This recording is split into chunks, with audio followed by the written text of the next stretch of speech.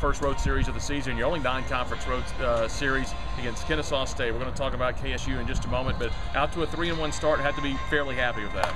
Yeah, you know, I think we played okay. Uh, one thing we've really done consistently is defend, and, and, most of the time I tell our team if you if you play defense, you're going to be in games, and, and, and you know we were one hit away, a couple hits away against Ole Miss because we played good defense, and you know I'm looking to uh, continue that, and, and, uh, and, we set this weekend up as kind of like a Conference USA road series, and, and setting it up just like we do a, a road weekend. So uh, I'm anxious to see how our guys respond, and, and you know I like I like three game series because you can match bullpen to bullpen, and I like our I like what our bullpen can do. Coach, if you average just one error a game, you're a very good defensive team. You've only made two errors in four games. Is this maybe the I mean quite possibly the best defensive team you've had since you've been here? Well, you know we're off to a good start there, and it's got to continue. I think playing defense. Uh, a big part of it is experience and passion, and, and you know we got to, as coaches, we got to keep the passion to defend because baseball players get very concerned with offensive and hitting statistics, and because that's yeah. what makes the you know that's what makes the papers usually. But uh, you know, so we got to take this old group and keep them passionate about playing defense. And then you know what our what our pitchers have to contribute to that is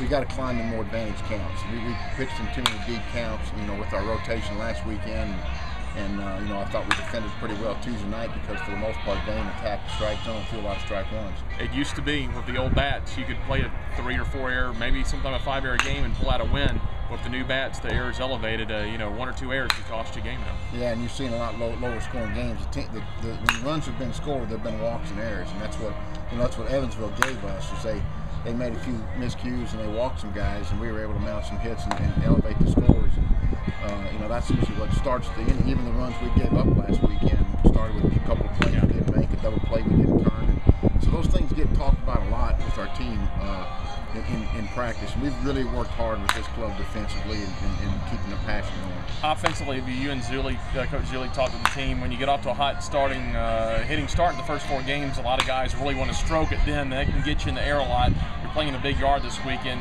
How much do you preach to them? Just keep the same approach, go for line drives. Yeah, that's going to be talked about a lot, and I think it's you know the way the ballpark's playing, we'll have to uh, line balls up. We'll have to get runners started, and we'll have to play our style of offense and defend the gaps. You know the gaps are pretty big here. And, uh, you know, I don't think it's going to be a home run fest. We got a little breeze blowing, so lining balls up. That's been our strength. We've done a good job of that. For the most part, we've stayed out of the air pretty good, and, and uh, our guys understand that. Sticking with the same rotation, you want consistency. They do pretty well for a first weekend and opening weekend against Evansville. Yeah, two new guys and two new roles, and that, that was a little, you know, if you want to say if anything was uncomfortable, that was it. I look for them to rebound and give us better starts this week, and, and, and they're going to have to if we're, if we're going to make noise in the conference like we want to. So.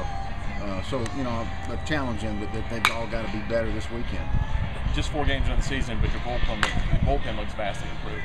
Well, you, you, have a guy like Ben Paulus down there for late in the game, and, and it, you know, lets you play offense a little differently too. Lets you try to run a bit and play for one. So we haven't had a guy like that with stuff like that down there in a few years. So uh, in between the starters and him, there's, there's, still some question marks. Some guys have, have, have gotten opportunities and haven't, you know, haven't really taken advantage of them yet. Given them a few runs we'll look to try to answer more questions on that this weekend.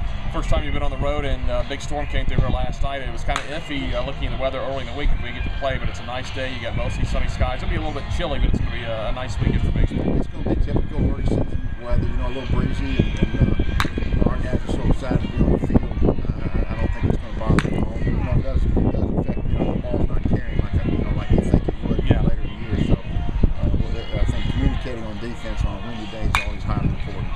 Is blowing out, but it's a big yard with the new bat, so you can afford maybe to be a little bit of a fly ball pitcher today. Yeah, you can get in the a little bit, and, and uh, you know what I think what you got to guard against is, is, is the gaps here. And, uh, gesture on those gaps and and, and, it becomes how shallow, how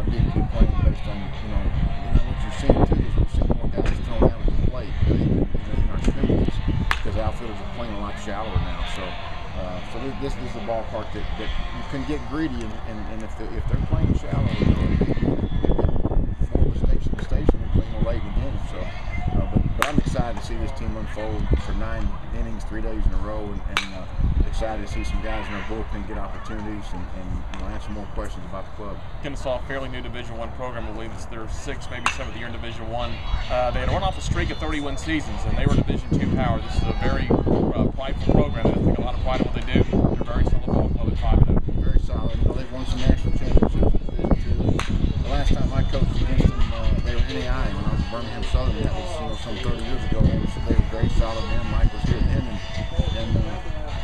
you know they, they've attracted a, a quality athlete from the from the state of Georgia. You look at their roster, and they're sprinkled with a lot of Georgia kids, and they play great baseball here in the state. So they'll be a challenge. They'll be just like a Conference USA opponent. They're five and zero. They're playing with a lot of confidence and uh, be a challenge for our guys. Wrapping it up, they're a very good offensive team. Their, their sophomore catcher Freeman was an All-American a year ago. Garrett Whittle's going 0 for an opening day. He has the longest uh, hitting streak in the country now at 34 games.